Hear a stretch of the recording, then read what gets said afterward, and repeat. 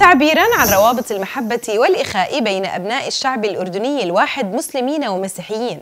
أقام مركز سيدة السلام للأشخاص ذوي الإعاقة والمركز الأردني لبحوث التعايش الديني حفلي إفطار رمضاني بحضور عدد من المسؤولين ورجال دين مسيحيين ومسلمين وجموع من الصائمين. إلى التفاصيل.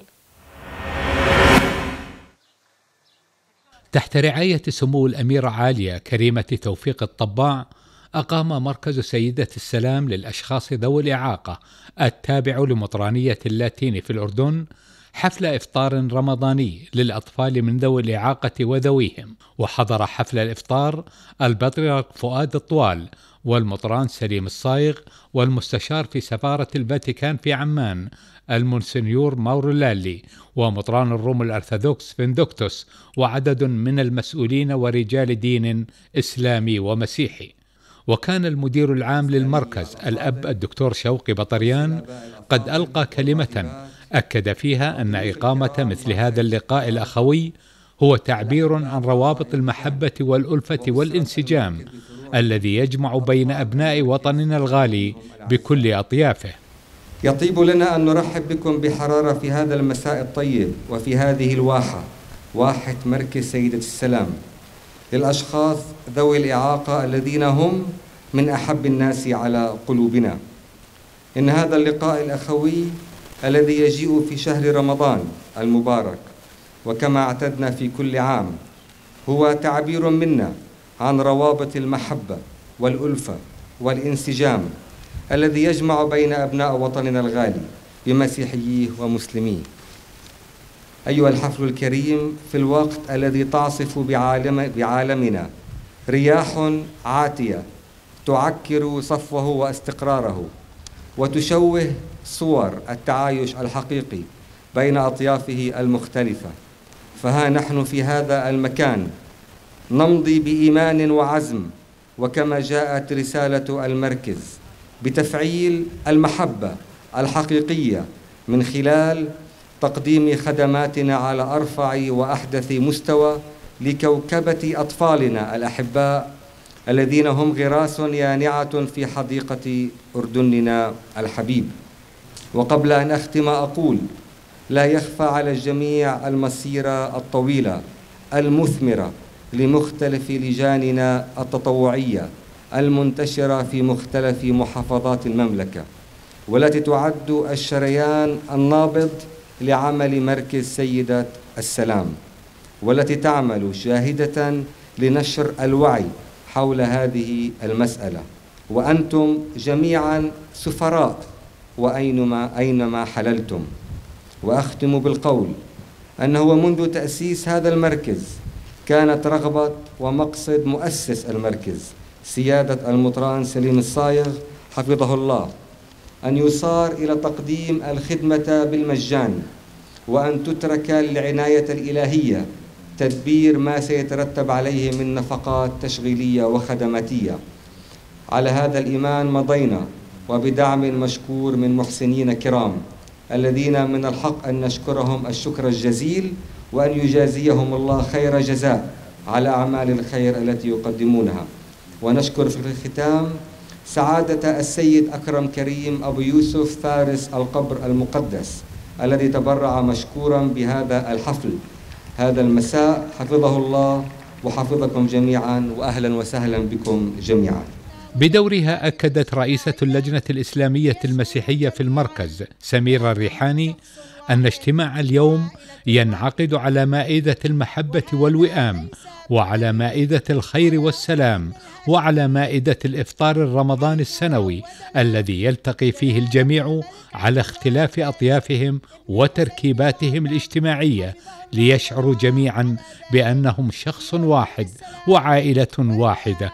وهذا ليس بالشيء الغريب على أردن السلام والوئام والخير. نجتمع في معا على اختلاف أطيافنا وتركيباتنا الاجتماعية ليشعروا جميعا بأنهم شخص واحد وعائلة واحدة. وهذا ليس بالغريب على أردن الهاشميين حيث عودنا جلالة الملك عبد الله الثاني ابن الحسين المعظم حفظه الله ورعاه على ذلك في أردن السلام والوئام والتسامح. وفي النهاية صوما مقبولا وإفطارا هنيئا بإذن الله. وكل عام وأنتم وأردننا بألف خير. على صعيد متصل وتحت رعاية وزير الأوقاف والشؤون والمقدسات الإسلامية الدكتور عبد الناصر أبو البصل أقام مركز التعايش الديني في كنيسة الروم الكاثوليك بجبل الويبد بعمان مأدبة إفطار للأطفال الأيتام. حيث أكد قدس الأب نبيل حداد مدير المركز بأن الهدف من إقامة هذا الحفل الذي حضره نواب ورجال دين مسلمين ومسيحيين. وذو الأيتام هو تجسيد المحبة والوئام بين أبناء الشعب الأردني الواحد الذي يتفق فيه الجميع على حب الوطن وقيادته. نجدد رسالة المحبة والمودة والوئام. نتقاسم مع أحبتنا المسلمين التقوى وطاعة الله والحب وتراب هذا الوطن وهواءه ونتقاسم الخبز والملح ونؤكد على عزمنا أننا سنبقى دوما هكذا نموذجا في الحب نحو السماء ونحو أخينا الإنسان. كل عام وأنتم بخير. حقيقة التعايش الديني في المملكة الأردنية الهاشمية يعد نموذج يحتذى به في كل البلدان. فإحنا ما بنقول تعايش إحنا هذه العادات موجودة آه، بيننا كعادات اجتماعية قبل أن تكون مؤسسات رعاية أو مؤسسات رسمية. هي كانت علاقات اجتماعية في البيوت يعني كان آه، كثير من إخواننا المسيحيين يسووا فطور للمسلمين وكانوا يكتبوا يعني اللي بخاف الله يتفضل علينا واللي بيحب الله يتفضل يفطر عندنا وجي يرتلع الغداء. وهذا تبادل. صار الآن يعني له قوالب جديدة من خلال مؤسسات الرعاية والمؤسسات الرسمية والجمعيات والمؤسسات الاجتماعية المختلفة لكن حقيقة هي كانت متجذرة. وهذه العلاقات نموذجا يحتذى فيه في كافة الدول سواء العربية منها أو الإسلامية أو في كل العالم. الأردن يعتبر نموذج والسبب في ذلك القيادة التي ترعى كل هذه الأطياف. قيادتنا الهاشمية يحفظها الله. الشكر طبعا للقائمين على مثل هذه آه، البرامج والشكر على هذه الرعاية لأنه فعلا آه، هذه الشرائح من المجتمع تخص الجميع.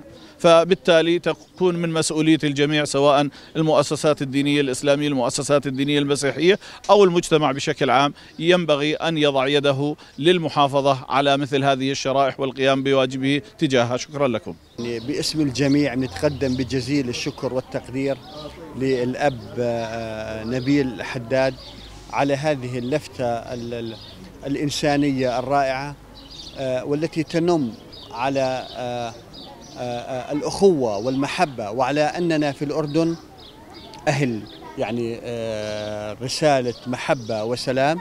أيضا على أننا لوحة فسيفساء لا فرق بين مسيحي ومسلم في هذا الأردن أردن أبا الحسين الذي عودنا دائما على أنه آه، تربطنا آه، المحبة وتربطنا آه، الأخوة والمحبة والسلام. نحن في هذا البلد نجسد بأن هنالك الأردنيين مسيحيين ومسلمين وبغض النظر عن المنابت والأصول كلنا أسرة واحدة. وهذه الطريقة أو هذه الفكرة ليست هي غريبة وليست هي جديدة وإنما جميع الطوائف المسيحية وجميع الفئات المسلمة كلها دائما تعمل مصلحة واحدة ويد واحدة لما فيها مصلحة الوطن. ونحن في هذا الوطن دائما نضرب الأمثال لكل رسائل العالم بأننا أسرة واحدة في هذا البلد بقيادة جلالة الملك عبد الله الثاني ابن الحسين. واليوم حفل الإفطار للأيتام وسيحضره المسلمون والمسيحيون في آن واحد وسيكون هو لمعزب قداسة الأب نبيل حداد مدير المركز الذي أسس ورسخ نهج التعايش بين كافة فئات المجتمع بغض النظر عن الدين واللون والعرق. وسنكون إن شاء الله نحن في استقبال المسيحيين وسيكون المسيحيين باستقبال المسلمين وكلنا معزبين في هذا مركز التعايش الديني. ونحييكم أيضا كمان الإعلام له دور كبير جدا في نشر رسالة عمان الذي دائما تؤكد على أننا في هذا البلد وحدة واحدة ولا نتخلى عن قضايانا المركزية. وإن كنا نفطر في عمان لكن قلوبنا مع غزة وقلوبنا مع فلسطين وقلوبنا مع المسجد الأقصى ومع الكنائس والمقدسات المسيحية والمسلمية هي مقدسات للجميع وليست لفئة محددة.